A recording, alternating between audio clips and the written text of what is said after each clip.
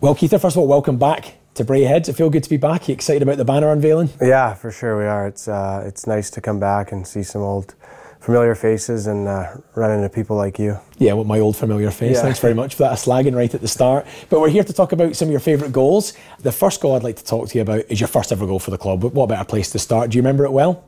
Yeah, I do. It was uh, it was funny. It was uh, a Sunday night back here against right. Uh, Asiago, and and uh, you know, everybody was August, obviously, right? So everybody was kind of moving at a slower pace than yeah than what you wanted, and and uh, yeah, we were on the power play and and kind of lucked out. Um, don't know exactly how the puck got through the two defensemen, but Are you saying you didn't mean that? You saying well, you didn't mean that? Well, no, I tried to go do something else, and the puck ended up another way, and yeah, and then obviously once I got in on the breakaway, um, you know, it was a quick move and a goal, but certainly it was a it was a nice goal. I think that was Stephen Meyer's first game too. Yeah, and I think Scott uh, Pitt had only just signed a, yeah, couple of days as well. Yeah. Guys had only just come through the door. Yeah, so it was good. It was uh, that was kind of the first, you know, the end of the first weekend. We lost the first night. Yeah. Second night we beat them and kind of set us off actually to that, that rest of the year. Not that goal in particular, but that win kind of yeah. gave you an idea of what the fans were like here in Braehead and, and what it was going to be like for that year. And what the lineups were capable of doing as well. Mm. And then not only that, winning the Aladdin Cup, which just became your trophy. You and, and Scott Aarssen, yeah, Scotty, right. Scotty four times, wasn't it? I know. So yeah, a great was, a great start though, eh? Yeah, for sure. No, it was it was uh, it was fun, and just to see, even though it was August, just to see how loud the fans were and and you know how much they supported the team. It was uh, it was a good atmosphere. Well, and things went from uh, strength to strength. So the next goal I want to talk about as well as a Champions Hockey League against Ingolstadt. I think it's an important goal for as well. Do you, do you remember the one I'm talking about? A huge game here at Braehead, bringing the, the German team over here into the rink. Amazing atmosphere. Yeah, no, it was. Um, and I think, you know, that was our last Champions League game. And, and uh, you know, we, we played well in Ingolstadt. Uh, we played well at home to Växjö. And that game against uh, Ingolstadt at home, it was kind of our last chance. Obviously, we knew we weren't going to get through.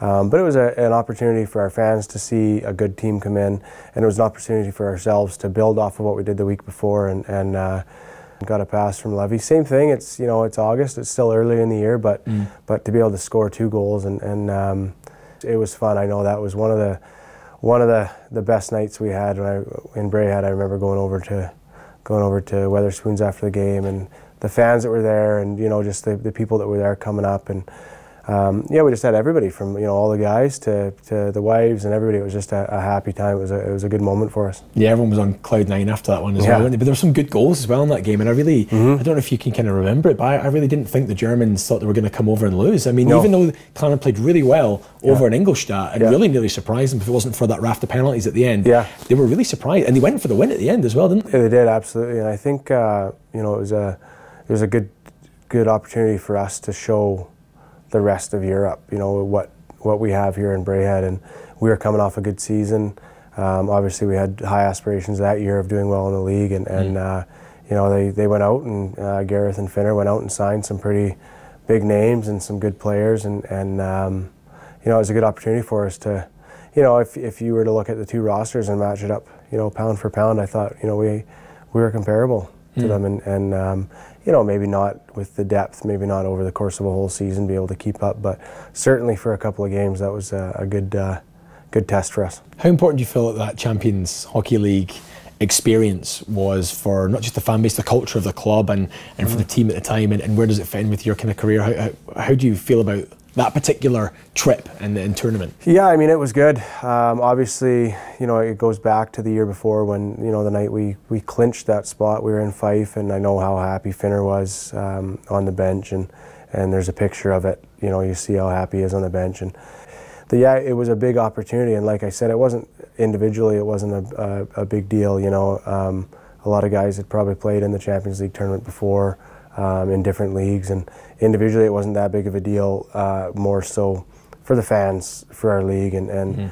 you know, we, just to see the amount of supporters that came to Sweden for us and that came to to Ingolstadt. It was it was good. It was a fun time. It was a it was a good thing to be a part of. No, brilliant atmosphere then as well. The, the, the next goal I want to mention is something I was talking to you as well. Like uh, previously, there's obviously he got plenty of goals, plenty of points for us as well. But one that you, you kind of mentioned that came to you straight away was away uh, in Belfast. Mm-hmm. Uh, uh, and a, a, goal that was particularly special for you as well. Can mm. you can you take us through that? Yeah, and this one is totally totally personal. Um, you know, kind of I guess from a, a selfish point of view, uh, the reason it meant so much to me was just because uh, the night before Chelsea had given birth to Lola, um, and uh, yeah, I hadn't slept, and we played Dundee the, a couple nights before, and we hadn't slept, and and uh, I just remember um, was texting with Finner uh, all day from the hospital, and obviously he knew that Lola was born, and and uh, he's like, "Can you, you tell know, the girl to push?" yeah, I know. And he just said, "I just, I just, I just did text Finner." And obviously now it's it's past the time, and and I just said to Finner, I said, "You know, it's uh, really important to me that I'm home. You know, I'm home to bring Chelsea and Lola home for the first time, and you know, I'm not going to be able to get on that on that bus tomorrow to get the ferry to Belfast." And he goes, putting me in a tough spot. I know the team at the time we were kind of struggling. We were up and down. It was important to get the wins, and and. Uh, um, I said, okay, well, you know, I'll get a flight over and, and I'll, I'll meet you guys. And, you know, completely dead. I remember one time, probably in the first period, I got knocked over uh, off a face-off and I was just lying on the ice. The whistle went, I was just lying on the ice and it was almost like I could have had a nap on the ice. I was so tired. Um, and the guys knew too. And I, and I think that that, you know, that collectively, the guys as a, as a group probably looked at me and said, man, this guy's tired. He doesn't have it tonight. I know Rusty played a great game. Yeah, because the team was quite beat up in itself yeah. as well, wasn't it? I mean, yeah. the, the, big one, of course, Chris Holt being injured and Rusty coming in and playing yeah. a fantastic game as well for the team. Yeah, and, and, you know, those are the types of things that guys kind of pick you up, you mm. know, and, and um, my shifts were short. I know at that time we had, um, we were playing three centermen and probably, and maybe four lines, but only three centermen, so you would rotate through. And, mm. and uh, I just, I remember looking at Ben Davies and just saying, I'm done. Like I, I saw if I was go if I would go on the ice for 20, 30 seconds, as long as we didn't get scored on and I got off the ice right away, that was it was just because you're just that tired, right? Wow. And then to get the opportunity in the third period to score a goal and our fans. And it was sitting, quite a ranged goal as well, wasn't yeah. it? I mean, it was like maybe you didn't have the energy yeah, to get closer to the goal or something. Yeah, I guess it's probably you know it's probably the hockey gods. That's all I can say is it, it shouldn't have went in. Um, but you know to have our fans there, and it was it wasn't an important goal, you know, as as far as the game goes. I mean, we had already we were up by a couple, and, and the way Rusty was playing, it didn't seem yeah. like we were going to lose that night, anyways. But to be able to get a goal and and then just have the guys in the dressing room after the game, um, mm. kind of, you know, do the put the Lola song on, and, and, and it was a it was a it was a really good time. Wrap things up here So. Your last goal. Mm-hmm. For the club as well, and it comes against uh, difficult opposition. Yeah. It was the Sheffield Steelers.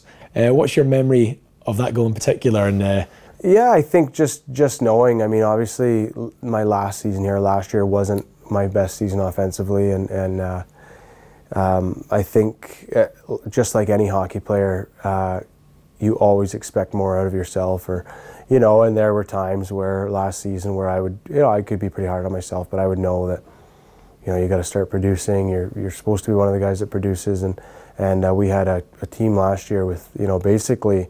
Um, if if you looked at it and you looked at the scoring leaders throughout the league, you know we had we had Becca, we had Scott Pitt, we had Mike Hammond, and Alex Leavitt. Mm. You know, um, and the funny thing is, is you know I played on the line with Alex Leavitt pretty much the entire year, mm. and he had a great year offensively. Yeah. And I just, for whatever reason, it was just one of those years that just nothing seemed to to click, and I couldn't get on that offensive role that, that you had had hoped. But um, yeah, that night against Sheffield, it was late in the year, and and um, yeah, it was a big, big, big game for us to, to beat them. They're always a, a good test, and and uh, you know teams always kind of compare themselves or see how they match up against the Sheffields and the Cardiffs, and and uh, yeah, it was a, you know it was a, that particular goal I remember was a pretty good. I think I believe it might have been power play.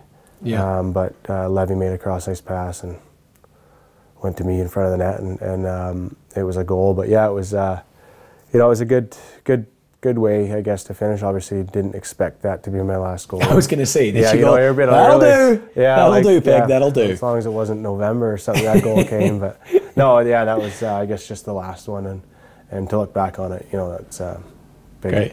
Well, thank you very much, Matt. Uh, that's some of Matt's favourite goals for while he played for the Clan. To see a full interview, make sure you check out the next Clan show.